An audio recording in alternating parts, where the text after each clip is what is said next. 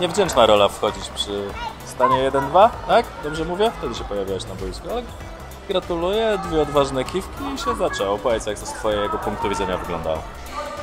No, Jestem od tego, żeby pomóc drużynie, dlatego jak dostałam e, możliwość e, wejścia na boisko, starałam się zrobić wszystko, żeby, żeby to wyglądało jak najlepiej, żebyśmy doprowadziły do tego tiebreaka i wygrały ten cały mecz.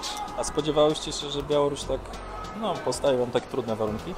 Oczywiście, że się spodziewałyśmy, tak samo Czechy, jak i Białoruś to są dobre zespoły i e, jak było widać, e, postawiły bardzo wysokie warunki. E, No na całe szczęście wyciągnęłyśmy to, wyszłyśmy z tego dołka i wygrałyśmy ten mecz.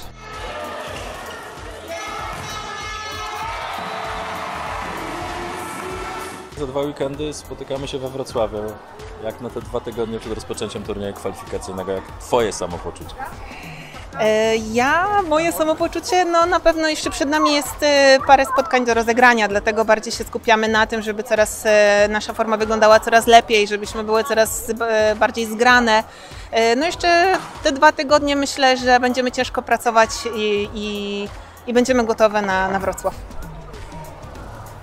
Spojrzałem, bo teraz mam nie ma. Jak, cię podpisać pod materiałem? E, Nazywam się Marlena Kowalewska. E, Jeszcze nie mam co prawda em, zmiany nazwiska na koszulce, ale, ale we Wrocławiu prawdopodobnie już będzie.